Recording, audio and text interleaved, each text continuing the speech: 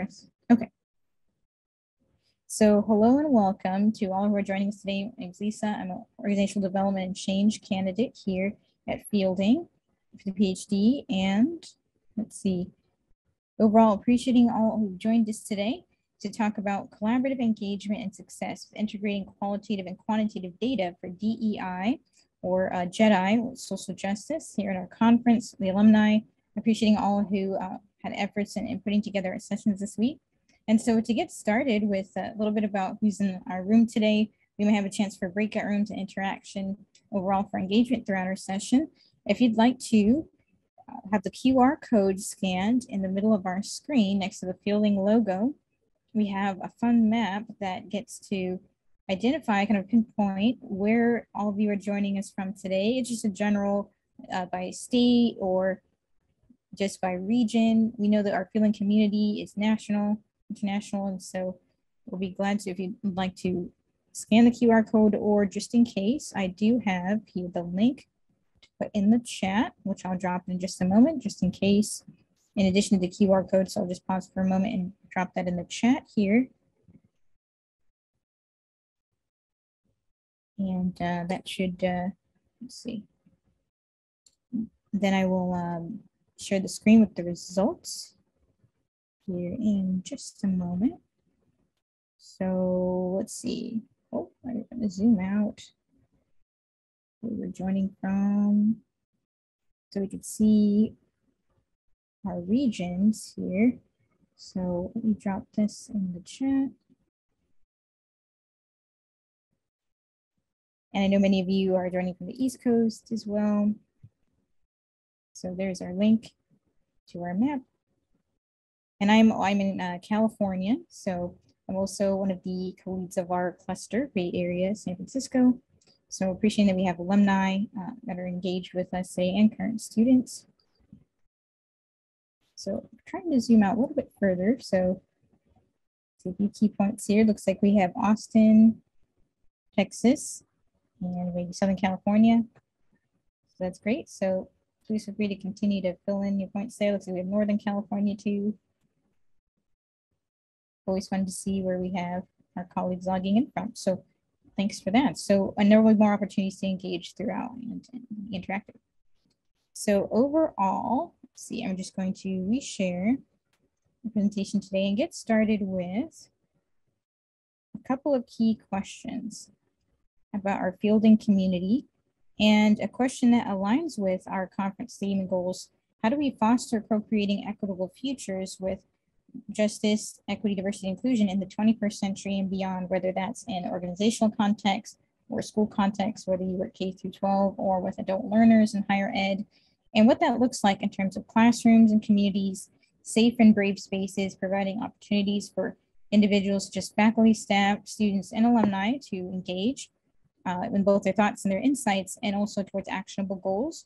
And also as lifelong learners here and in learning communities overall, as we call ourselves scholar practitioners uh, here at Fielding. And that uh, applied approach. So that uh, definitely connects to our, our theme overall for the 21st century and beyond. And just thinking about um, just a little bit about background of how I arrived at this uh, topic and overall for the dissertation as focused on um, first generation students. I'm a first generation graduate doctoral student. I'm also a member of the Field Fielding Inclusion Council and have a little over 12 years in the field of education with the privilege of supporting, um, starting out in admissions and student services and higher ed, and know, working in education technology, helping implement curriculum into the classroom and technologies for K through 12 and in higher ed. And also um, serving as board of director and commissioner, and in the past chair for Inclusive Excellence Councils, working with our clusters at Fielding. And my background is in sociology with a concentration in organizations and inequalities. And my minor is focused in IT and science and technology how technology shapes learning and our experiences, and vice versa, how learning experiences shape technology and our resources, especially with access to technology, the digital divide, bridging um, accessibility and affordability, particularly of internet access, and also um, with uh, educational leadership and human development uh, focus for uh, master's previously at Fielding and at Santa Clara University. So just wanted to go to our next step here to talk about, let's see, how these questions connect to our key goals for today. And we'll have a chance to chat about it and maybe a quick breakout room with a paired, paired session. So engaging our key goals today, learning about how we can equip our learning communities, our faculty, staff, students, and alumni with strategies for best practices and research, uh, resources and how we can approach retaining enrollment towards completion. And I'll talk about the context of that now with uh, the advent of uh, learning and working from home, how we can continue to build bridges to create support systems for students, faculty, staff, and alumni, and how we can provide resources and identify the needs for diverse communities uh, including in and outside of the classroom, technology and access to support, funding, and different ways and perspectives to think about it, including some demographic perspectives where students can be either new or non-traditional as uh, caregivers. Uh, we know that we have many adult learners at uh, Fielding, maybe approaching their second careers. Um, also ability accommodations as well as demographic phenomena such as the sandwich generation. So individuals who may be taking care of their own children at the same time as uh, their parents or other responsibilities while being a student or also professional. And so uh, how do we approach this with a learner-centered focus academically, especially for under-resourced and underrepresented students? And many um, surveys have shown and reports of data that what serves and focuses on under-resourced and underrepresented students also benefits all students as well, and particularly also with first generation student support programs as a focus for my dissertation study. And then how do we utilize the, these demographic data points, qualitative, quantitative, narrative data? So whether we're gathering a survey of fielding our student experiences, or we're looking at a maybe publicly available data report or profile of a school, how do we gather from that anticipating the needs of students, faculty and staff, and alumni as well, in um, communities as lifelong learners and scholar practitioners? And then how do we engage that or create a framework for systems thinking for um, providing resources for the future towards students striving towards their goals and their full potential and as a whole for our community. So thinking about the context for this as an introduction. So we, we've heard about maybe on the news that there's a lot impacting our economy today, our society and the future of work and learning, hybrid access uh, to technology, education. And so actually we've seen some of the most significant declines in enrollment these past two decades in California and um, in history nationally overall. So right now, about 1 million fewer students are enrolled um, or have enrolled in college. Uh, we're now approaching that deadline where students are deciding where to go for institutions next year. Uh, we have heard that um, it is a good market that students are graduating into in terms of um, postgraduate opportunities, but we have seen that in terms of the FAFSA or applying for federal student aid, there's been about a 10% decrease both in California and overall nationally, in students applying for aid overall to attend school. So how do we then take these data points uh, together and kind of figure out the way to best support students with this decline in enrollment, potentially the decline in students maybe applying for aid, or maybe thinking that um, post-secondary education might be a possibility for them. Uh, now important now more than ever. So as we go back to some of our key points, um, I'd like to pause here and ask a few questions. Let's see, I'm gonna go back to our next step here to a couple of key things. So we talked about new and non-traditional students. So students that may be outside the particular age ranges that maybe sometimes undergraduate institutions serve. So students might be working full-time at the same time they're earning undergraduate degrees. We talked about the sandwich generation and then maybe exploring factors and how we can create an adaptive resource or metric that you can apply to whether it's your institution, community college level, what key factors matter the most for the communities and, and learning um, communities and stakeholders where you are. So that's how I arrived at one of the key questions about what kind of demographic points should we look at that are the most effective measures of diversity, equity, and inclusion, sort of like an equity quotient among either K through 12 or post-secondary. And so similar to how you may have heard in the SAT, they have an adversity score. So they look at the student's demographics, who's taking the SAT or standardized tests as a framework now, which now is test optional for many institutions. But what if we had a holistic framework to measure or evaluate the profile of schools, of institutions, and how we can collectively um, look at our lens of diversity, accessibility, and uh, with combining quantitative and qualitative factors that are equally important. So with that in mind,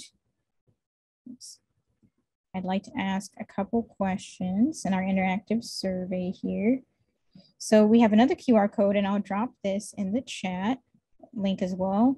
So who and maybe what are key demographic factors in your community? So whether you work in a school or an organization with students, adult learners, or maybe even um, previously in your career before you came to fielding or coaching, what are the key factors that impact the individuals that you work with or serve as a scholar practitioner, as a lifelong learner and a leader? And I will go ahead and also pause here a moment to provide the link for this in the chat. And this will generate a word bubble of our responses. So link's now in the chat. To respond, you're welcome to use the QR code here as well. And then in just a moment, we may have a couple answers populated here. And we also have a chance for a short breakout room after this too, to maybe pair off.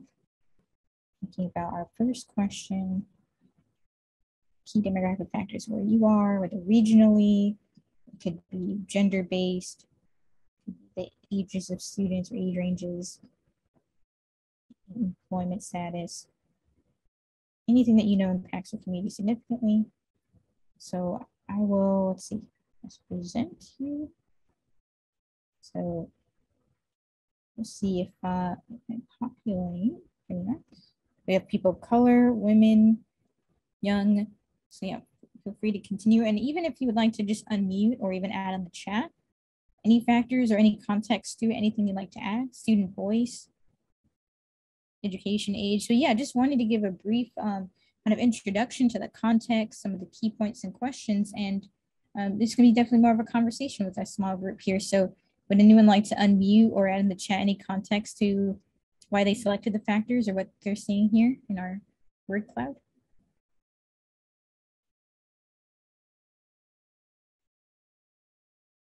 Yeah, any of these points here that speak to you that you'd like to we talk about why you selected them or entered it in? And that's okay too. I know it's towards the end of the day, or if you prefer in our small groups in just a bit, we can I'll, I'll pitch in. yeah, no problem. Thanks. Sorry, I dropped in late to this thing, so I, hopefully I'm not being more disruptive than helpful. You're more than welcome. But, um, anyway, I, I um, grew up on the East Coast uh, and with a very liberal orientation, um, and now live in Tucson, Arizona, in an environment which is uh, very conservative, or often so. Um, and so I, I, I for the first time in my life was suddenly very conscious of the politics of the people around me and um, found myself biting my tongue um, more than I have ever imagined I would. Um, I lived just down the street from where our state representative was almost murdered uh, a few years ago. And there's just this kind of feeling around here that politics is fraught. And so that's why I put down political orientation. It, seems to be very much in the air. And uh, certainly the events of recent days hasn't helped. Yeah, well, definitely appreciate you sharing and, uh, your thoughts there. Yes, as, as we see kind of a, a climate of, especially with online forums, um, providing opportunities and platforms, we also see sometimes maybe uh, you know, divisiveness of opinion or different platforms where opinion can be uh, either magnified or in other, you know, contexts. So yeah, thank you for that and for sharing. Um, and also you're welcome to, we, we did a little exercise where we, we added in where we're from. So more than welcome to, if, if you didn't get a chance to add in the chat where you're from, alumni, um, you know, and uh, where you're joining from today. Will do. And yes, so thank you. Would anyone else like to speak to the points they added or that are here about the context of what factors impact the community and why? My community, I feel like the demographic that I work with um, is pretty representative of the population in Texas.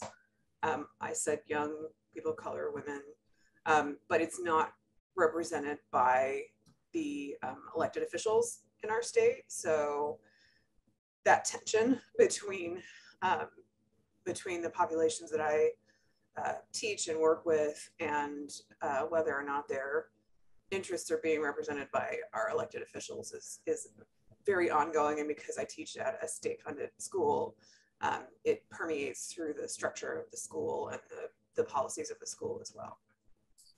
Yeah, that's a great point. Thank you for bringing up uh, the multi-level kind of stakeholders of organizations and do the leaders at different levels reflect the communities and populations they serve especially with um, one term that I've heard recently, what you talked about reminded me of um, snow-capped organizations. So uh, in a sense, you know, at the at the bottom, maybe you have uh, a sense of diversity, you know, front-facing or overall, whether it's, you know, learning communities or otherwise, but at the top, still very much maybe homogenous, was saying we're not entirely reflective of communities. So yeah, thank you for that. And, and those are uh, instances where we think about, you know, who's setting the policies and the practices and the frameworks that impact the communities the most and are they connected to those those changes uh, who will be impacted the most and um, those policies how can we shape or frame them in a way that's most beneficial uh, to the key communities? so yeah any other thoughts here before we move on to our next question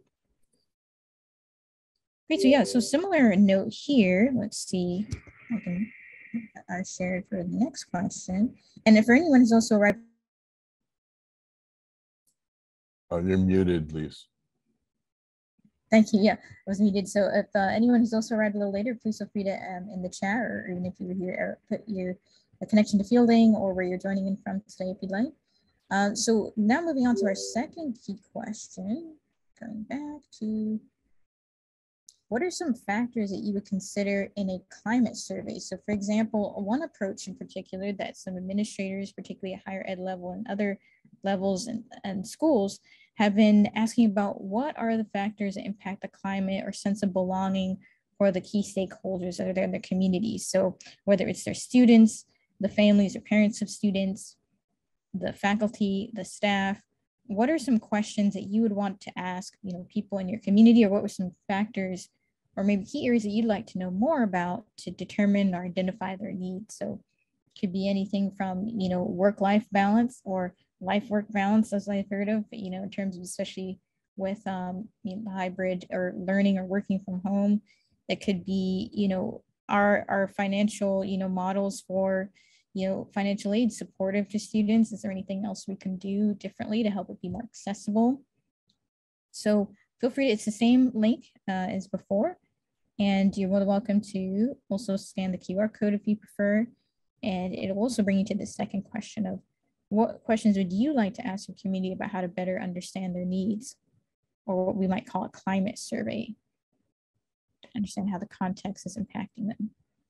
So factors, feel free to take a moment to think about that. Or do you have a climate survey already in your institution or community or organization? And what do the questions look like or questions you wished were asked?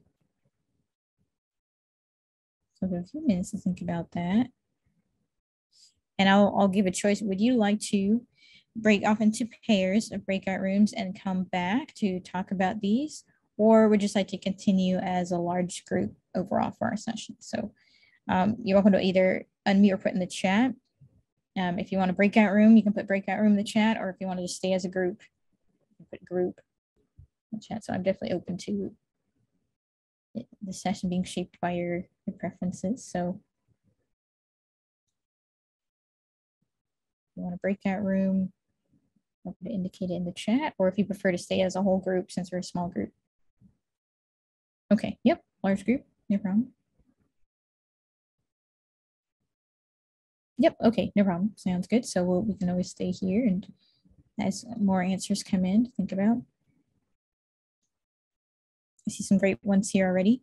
Value ROI. And I think that's a great one because there's recently a survey from Georgetown that talked about the institutions that have the highest return on investment, in particular for um, institutions that are um, different colleges across the country. So Georgetown looked at, you know, which colleges serve the students with the most need financially and compared it to, you know, students postgraduate, um, you know, success, whether that was you know, a job six months after graduation, maybe pursuing post-secondary study or graduate study.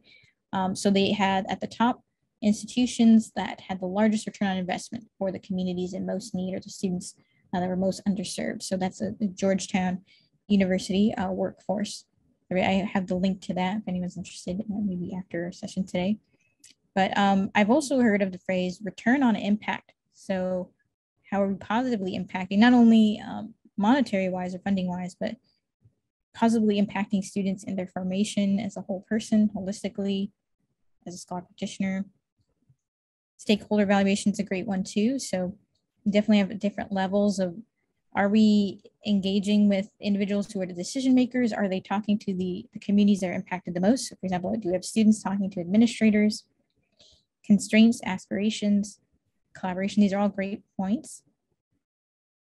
There was a an example from an administrator session that I attended recently that talked about they looked at the recipients of their scholarship, um, the individuals or students who received their scholarships the most, and the funding opportunities and the fellowships. And they realized that the student populations that were receiving the most scholarships weren't exactly reflective or the most diverse of, of their entire student body population. So then they decided, you know, how do we create an outreach plan to ensure the students who need it the most, that are reflective of our population, are applying and receiving these funding and scholarship opportunities. So they were looking at creating an outreach plan, whether it's email based, social media based, even reaching out to faculty to have students recommended. Um, so thinking about kind of those types of examples. There was another example where there are certain requirements for students at undergraduate level to finish or to graduate but that's sometimes dependent on the number of classes that are offered and when during the year. And so some administrators were not aware that the departments were not offering all the required classes during the during each quarter of the year. So then we need student groups, and in the past institutions I've been at had student groups that had to highlight and bring up this is a class that was required for graduation, but it's only offered once a year during a time frame where students might be working off campus, students might be commuting, and for some of those students, that meant, you know, if they couldn't take that class at one particular quarter, they would need to stay a fifth year. And for some of those students, they had a four year scholarship. So staying a fifth year, quote unquote, for that extra class would uh, impact or jeopardize their funding. And in turn, that fifth year then impacts the institution's overall four six year graduation rate. And uh, the federal government uses that four to six year graduation rate to then determine what institutions are eligible for federal funding or for the FAFSA. So as you can see, there are different levels there that are impacted as far as stakeholders. So students, you know, going into a fifth year, jeopardizing their funding, the institution's rate of four to six year graduation, that then impacting their eligibility with the federal government to then receive more funding for students. So, um, so all those as factors there as I see a lot of uh, great new points coming in. So just a couple of key examples. Um, so graduation rate, Yes, definitely. So retention and graduation rates are uh, definitely helpful. And there have been a lot of studies that have shown financial constraints have been the number one impact on graduation and retention rates for many students. So mental health, yes, is a big conversation. Uh, recently, there's been an administrative update. So uh, from the federal government to talk about the emergency funds that have been funneled into many K through 12 and higher ed schools are now um, the time frame for it has been extended to use the federal funds and also to mental health or mental wellness resources for students. So they're now encouraging the hiring of professionals to support students um, across contexts uh, for their, their wellness on campus. So yeah, so thanks for your thoughts on that. And would anyone like to speak to any of the points they added here and why? Um, Lisa, I, I, I just noticed maybe a little less so at the end of your um, your conversation, but uh, a, a, an emphasis on money and finances, and I wonder, it, it, does that still seem like the highest and best or most useful measurement or unit of exchange, or you know, it seems to always come down to money, but does is it helpful to keep that? Yeah, and, that, and I appreciate your point. And so that's why I, I, like the idea of the term of return on impact, also kind of mm. signifying holistically why um, and how students can be impacted, not only in their, you know, pursuits professionally after graduation, but also in their kind of personal development as well in particular. So thinking about um, how each of those um, kind of factors may impact students, whether it's, for example, scholar practitioners at Fielding. Uh, one of my uh, most impactful or kind of uh, helpful um, KAs relating to human development talked about identifying who is the most significant leader in your life at different age ranges. So we had the opportunity to talk about looking at the stakeholders in our community and who influence our learning path as, as lifelong learners. Um, so giving students the opportunity to reflect on those um, aspects individually, but also as a whole. So I think that's where the mental health or mental wellness aspect comes in. So a lot of the support programs for first generation students, just providing those safe spaces where students feel comfortable reaching out for resources.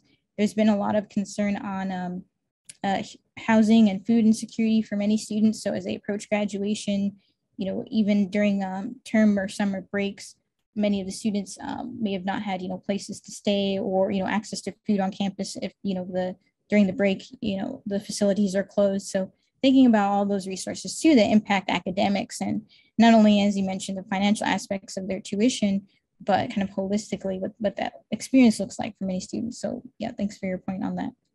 Well, even when we say return on investment or impact, you know, how are we measuring that return is is an open question for me.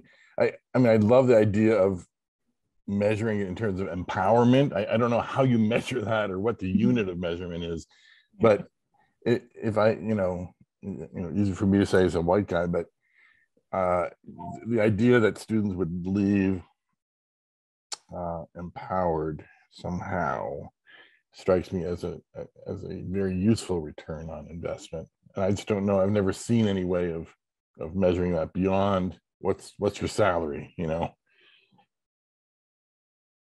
I agree, and that's one of the key reasons why um, the kind of I would say equity quotient or one of the top um, questions. Oh, excuse me, just one moment here. I want to just fix my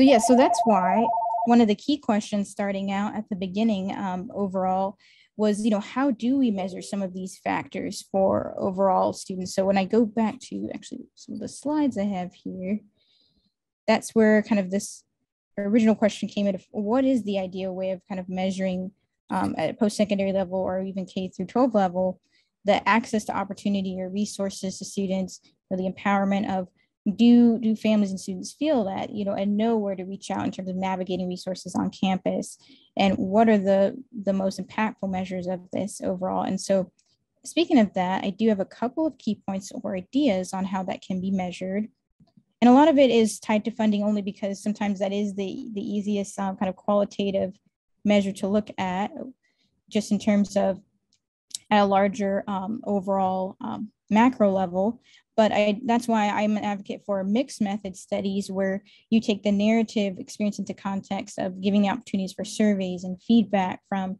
um, the different levels in your community, particularly maybe students or individuals that are impacted the most by the policies and practices. So, for example, in K through 12, it could be you know, free reduced lunch and eligibility based on parents' income is a starting point for that to potentially identify populations in need. But then how are those populations experiencing you know that sense of belonging? So then bringing a survey to them so they can highlight their own key points and needs. Um, so by percentage in local regions so do our schools and the leaders of our schools also reflect the local community overall not just in terms of uh, ethnicity but also you know uh, ability we have many language learners um, also learning that you know it's self-reported as well so how do individuals identify GPA and academic achievement may not be a, entirely always a holistic indicator, but um, which is why sometimes the standardized testing comes into to play or to question. But thinking about different other other opportunities such as concurrent enrollment or advanced placement. Some students who may not always have the funds to prepare for, um, you know, SAT or advanced placement courses, what the experience looks like for them. And so how can we then um, kind of provide, you know, an equalizer to that or, you know, resources to help them gain access to those opportunities. Uh, different partnerships, so pipeline partnerships. So for example, if a student does need to work on campus or if they don't have access to, you know, if they have food or housing and security concerns, how can we build, you know, a food pantry, reach out to our local communities um, and, and look at those um, maybe anonymous surveys. So sometimes there's a concern with students wanting to, you know, reveal their identities and reach out, especially when it comes to certain resources on campus Also, in general, we have um, post-secondary measures, maybe specific. So how many students are full or part-time, uh, retention or graduation rates, of course, how many are receiving Pell Grants or Cal Grants or state-based grants. And then again, we have that kind of holistic sense of belonging. And so that's where um, in my dissertation, I largely focus on social, emotional, and academic learning based statements and how they connect to um, student experiences directly. So there are some narrative statements that students posted based on a survey or a question that I evaluate overall.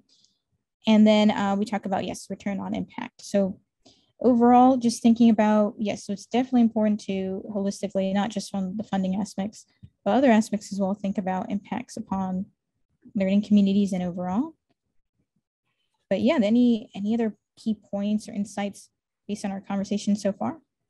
I'm not sure if I understood it correctly, but uh, the idea of sending out surveys for your constituents to measure their empowerment strikes me as exactly right. Why are we bringing, you know, why are the measurements coming from outside of the actual constituents? The idea that they should measure themselves and decide for themselves what's what is accomplishment and what is progress. Yeah, exactly. So when we provide exactly that, right. yeah, when we provide that framework or even that avenue of that feedback and, and then take that and incorporate and say, how can we use the feedback from the community to then shape and ensure our current policies and practices are, are equitable? Um, yeah, I think that's definitely a key piece as well. So let's see, moving on to our next, let's see. Can I make a quick comment? Oh, yes, yes. Um, so we, our kids all just had the STAAR test in Texas, which is still in use here and is tied to funding and a bunch of crazy stuff. Um, but there was a really interesting uh, interview on NPR with a couple of superintendents of schools. One of them is a neighboring city to ours. And he pointed out that the, the STAAR measures the same thing in a in a district with a 70% poverty rate and a 20% poverty rate. So Mhm. schools are being rated based on how well kids are performing on these tests. And then that affects things like, you know, how they progress through the school system, whether or not they can place in AP classes, which then affects whether or not they can get into colleges. Yeah. Um, and, and so it's such a fundamentally, and so the thing that kind of always gets back, I get back to is the fact that public schooling is funded through property taxes largely.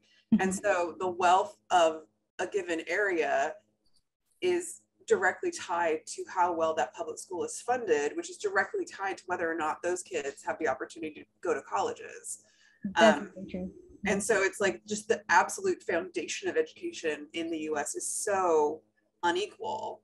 Um, I wonder if, you know, how much of this conversation is going on at that level Mhm. so that when they get to college, they're more prepared, they're more ready, they're less likely to drop out, you know, whether or not they're first generation, whether or not, um, you know, they have other barriers.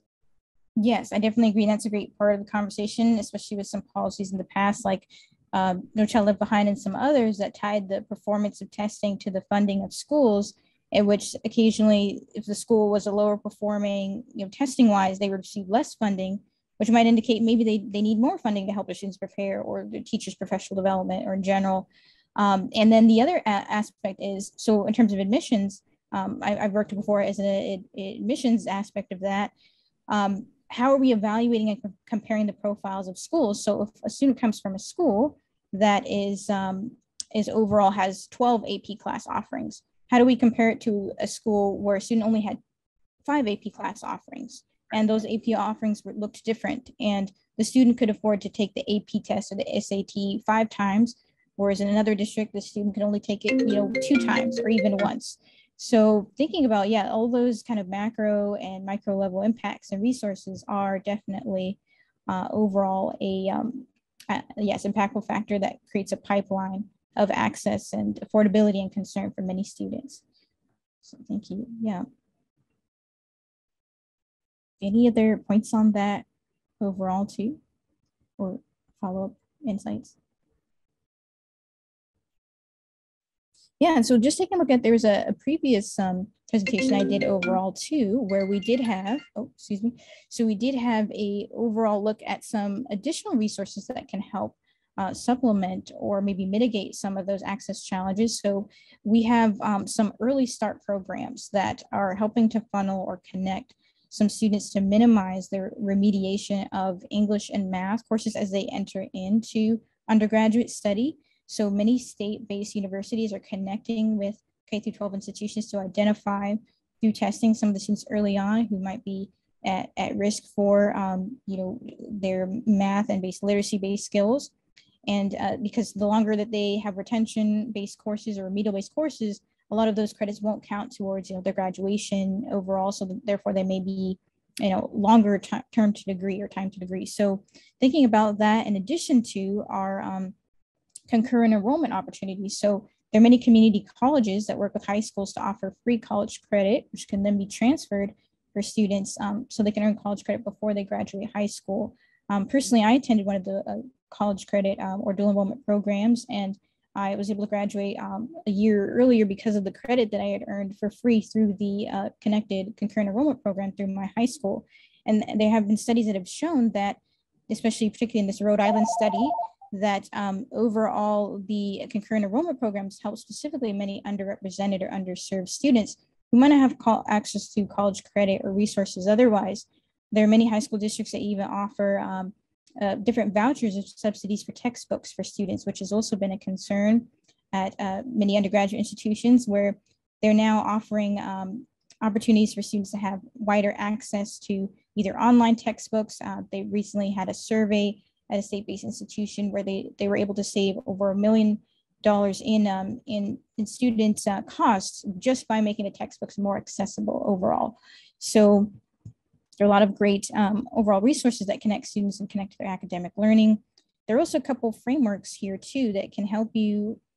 Uh, let's see, there's a rapid framework identify some of those key concerns as well. So this was the study from Jose State on the concurrent enrollment data for many of uh, for minimizing remedial programs. Um, and I'm going to just show you a, a uh, framework that was a part of our previous study on evaluating how you can quickly or more quickly identify a framework in communities. So overall, let's see, we got here. Yes, uh, I see a hand raised. Uh, sorry. At least I was just wondering if you felt any resentment um, at you doing concurrent enrollment, studying extra hard, extra time, while perhaps, and I'm just inventing this, some of your compatriots were out, you know, playing tennis or something, or I don't know, on a school team or doing something. I don't know. Is that was that an experience for you, or or did you not well, personally, um, actually, the unique aspect of the program was that um, it was a cohort of high school students who went together to community college to take uh, classes or coursework. So I think still having that experience of engaging with students of you know similar age range, in addition to students outside of our age range, I think was a really valuable intergenerational experience too. Um, I didn't at all. I actually I felt it was almost a privilege to be able to you know, we had community college students were some of the hardest working where we had, you know, international students who were transferring to our state schools or, you know, individuals or classmates who were my parents' age or just having the opportunity to learn in and outside the classroom from that, in addition to extracurriculars. So I was also one of those students who involved in sports and everything too. But I think that um, it, it almost, I really saw kind of a more full scope of what the education opportunities that could be offered outside of my high school because was, yeah, definitely one of those schools where we, we didn't have AP computer science or, you know, the, the other opportunities that some other um, high schools and districts had. So um, just, I think, recognizing that and hoping that many more students will hopefully be able to um, gain from those opportunities or similar, similar programs. So it's heartening to hear that didn't isolate you, but like you found community in it, which is kind of cool. Yeah, definitely. The, the structure of the cohort, so it was about a group of 30 high school students going together and actually having a class together in addition to our community college classes I think really helped as well with that experience in the transition. Um, it made it a lot more easy to be independent when we did finally get to the undergraduate college stage, at least for my personal experience. But there was another program where you you didn't have you had a choice between going with a group of high school students and also just going on your own and not having high school classes. So, yeah, I hope it answers your question overall. So yeah, it could definitely be more of a, a conversation here too. So um, here I just had a couple points on the macro level. So we talked about, you know, the, the state or policy levels. the meso level, so the families, the parents, the communities. Um, so there's a couple uh, spheres of influence. Uh, we also have the chrono system, so the time frame. So at the time, you know, 2008 um, and the previous recession might have impacted a lot of um, previous graduates and graduate students. Um, now currently into you know millennials and different generations, into what type of you know communities that they are are serving or impacting, having uh, you know postgraduate experiences. So there's there was actually one other key point, but before I do, I'm definitely open to any other insights or questions you have or would like to ask throughout. So definitely, please feel free uh, before we get to our, our closing point. But yeah, any other thoughts that came up from our conversation so far? And I've just stopped sharing, so in case you wanted to to our colleagues here.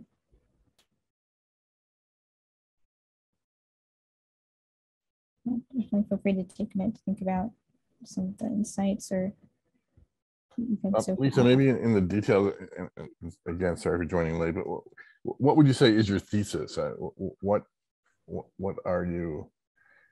Are there some conclusions you've drawn from this, from your work here? Yeah, so the conclusion is that, um, so particularly my dissertation that's focusing on you know, first generation underserved and under-resourced students is that um, multiple measures are a holistic measure of, you know, diversity or equity or the ways that, um, so, so the main, one of the main questions of my dissertation is what are the factors that impact students the most in their academic journeys who are underserved or underrepresented in their transition from K through 12 to post-secondary. So what are those factors impacting the most in their transition? And how do we mitigate the, the negative, um, you know, aspects of that and um, be able to kind of maximize the retention rates and the positive experiences and spheres of influences that students have when they enter into their undergraduate institutions so that they're more likely to engage in the communities and not just um, towards completion, but overall um, a holistically or positive experience. So um, the thesis from that is in general, um, I approach it with a mixed method study. So starting with um, some US Census data, looking at the demographics of what populations are most in need, what factors impact at the, the macro kind of demographic level, and then bringing it down to the individual level. I looked at the narrative experiences of a little over 280 students and Wow. basically from their direct, um, you know, ex- uh, experiences or how they've expressed how factors impact them how can what can we gather or learn from their direct experiences and how can we utilize what we've learned from students directly describing their experiences and incorporate it into the programs and policies and approaches that we have so i would say gathering the voices and centering the voices of communities that are impacted the most and then how do we then incorporate that into the frameworks of support and systems that we have to ensure that it's equitable overall That is very impressive. Two hundred and eighty participants. Wow. Yeah, yeah, thank you. Yeah, it was mostly from um, so it was an anonymized kind of social media based post. So the students had a chance to anonymously submit comments, which allowed them to be, I think, more you know candid, and they um, were given a number or assigned a number to each comment. Originally, I was planning to interview students more directly, but because of the circumstances with on campus and access overall the programs, um, we kind of shifted the focus a bit, which I think did work out well because I almost had a larger scope than I would have if, you know, interview maybe like 20 or so students. So uh, I think it, it worked out well in that regard. And what I did then is I took um, I some of the data and the phrases from we were kind of hundreds or so narratives and I put it in a word cloud generator. Um, and then the word cloud gave, you know, the largest words are the ones with the most frequency. So um, the ones with the largest words and the most frequency, then I identified as common themes or the most impactful themes um, that students experienced. So that was one metric or measure or way that I developed from a dissertation that uh, is connected to some other diverse other ways that you can gather, you know, from surveys and kind of creative ways that you can highlight themes from those surveys for identifying the needs of your communities. You sorted through twelve thousand words? Yeah, it's so over time, Oh. uh, the estimation was when I put it in the generator, the software, it said, you know, it had this many words. It was over an average of three years, about like 4,000 words per year. But this is this counted every single word the student put in there. there. So that's what that's what came out of the software when I. Impressive. All right. Well, any So 19. sorry, that step-like graph, that, that is the, word those, those identify the measures now that you would say have, would have the most impact? I- i- Is that your point? Yes, Did I read that correctly? So could you just repeat for, at least for my benefit, what those five or six or eight steps are that you've identified? Sorry, just one minute. I may just have to adjust my audio for just a second.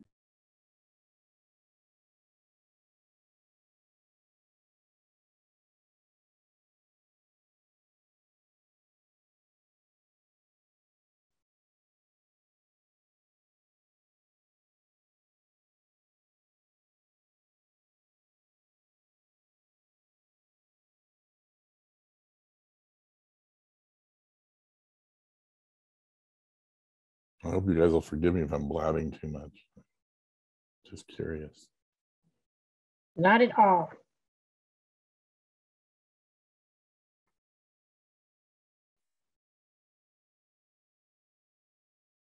But um, but yeah, so thanks for your patience. I was just uh disconnecting the Bluetooth there. But overall, um, yeah, so the steps that I went through in particular for this metric or measure just took the um, the words that were generated over the three years from 2015 to 2018 into the word cloud generator. And I did have to identify or take out a few of the, you know, personalized um, kind of comments or identifiers there. But overall, um, it gave the opportunity to amplify the voices of students directly in that, you know, these are anonymized, um, you know, different narratives or, you know, phrases about their experiences. Um, so having that context, and it was directly connected to the university's, um, you know, webpage or official, you know, social media page. So, so with that in mind, um, it actually inspired other similar pages called class confessions at other universities that um, then took place during that time frame. So uh, was very interesting to see that phenomenon that take place overall, and it's still posted there. It's publicly available data, so I do have that overall. But, So um, the slide that showed the stairs. Is that? Oh, oh yeah, that was, this is from my overall. Um, this is kind of the summary from that study overall that I presented at a, uh, this is the National Institute for Staff and Organizational Development. So this talked about dual enrollment specifically and why it's beneficial to um, particular populations. I see. So each of those bars, do- do- does that represent a strategy? Yeah, so different steps. Um, this is more so a graphic, but yes, so different steps within this overall too, uh, of that particular study and then just in general. Yeah. Provide the link to this one too, if if we'd like. So. Yeah, thank you. I'm just curious what those actual steps are that you identify. Yeah, so overall, yeah, so this was just uh, the general presentation that um, if I don't have time to go through all today, so it, it kind of just started out with, you know, describing what success will look like at your institution. We talked about the the early start programs and the dual enrollment. So this is just an example of that a type of metric that could be used. Sometimes this doesn't always. okay but defining your spheres of support so support systems that might be already in place that could be utilized so employee resource groups or staff or faculty resource groups even student resource groups so we have our clusters at fielding we have many others that are based on you know research interests. So ethnography groups or you know environmental you know groups that are you know in- involved in the environment or we had a lot of um, ability based um, you know advocacy you know sessions this past week too. So the framework or action plan there's steps that i presented in this particular framework as another metric also talked about the technological factors or barriers the needs of resource so that's audio just dropped.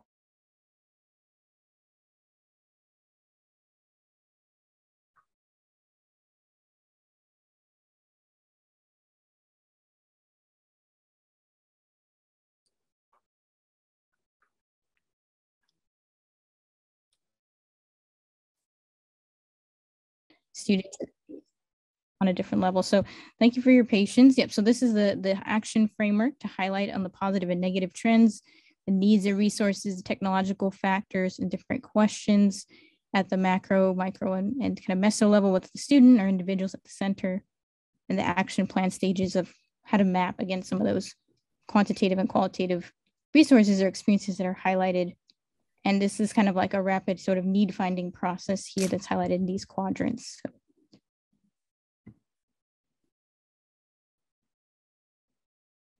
Yeah, any questions overall that I can? Well, I'd love to see this. pre- Is there a way to share the slides or something? Yes, definitely. I have the links to this uh Prezi that I will be able to provide to you along with the recording. Let me just have one last closing question here on the key goals or next steps for any actions that, that came to mind when you were overall attending the presentation or that came up as far as as kind of evaluating some of the needs of your communities, building, gaining, maintaining trust across levels and stakeholders, listening sessions, resource groups, just different ideas as far as resources.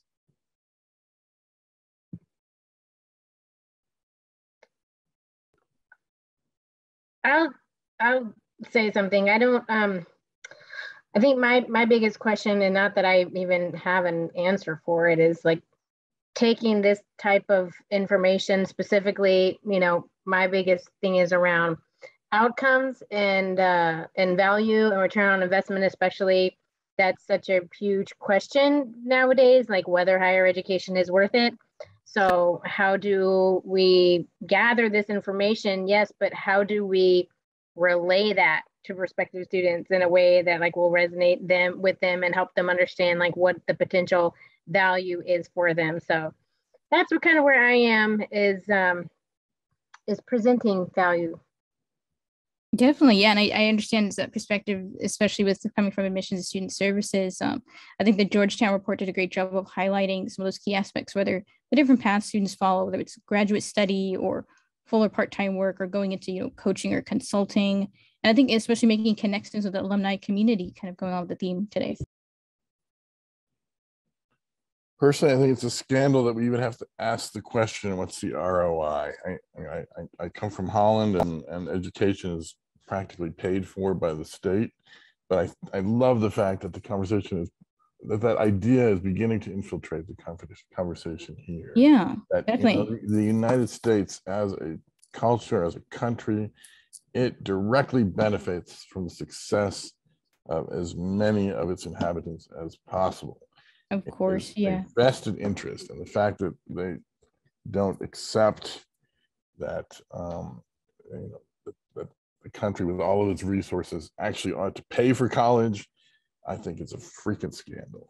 Yeah, there, there are a lot of resources that show that civic engagements increased and also the um, crime rates of populations decrease when education increases.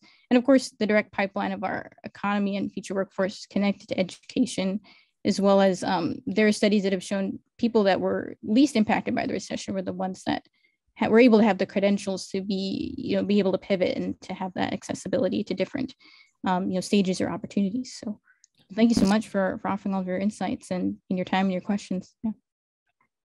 I Great think study. it's Takoma Park. I think it was Takoma Park, Maryland. They actually had the voting age at 16 that you could vote for like school board and stuff. Yeah, I know you have a lot of great insights too from your yeah, experiences too, Carl. So, but yeah, appreciating all that was shared here. I may have to run in just a bit to uh, commute, but I really appreciated everyone's time and attendance and just want to give space for any other questions before closing out the session today. Just a big thank you. Thank Thank you.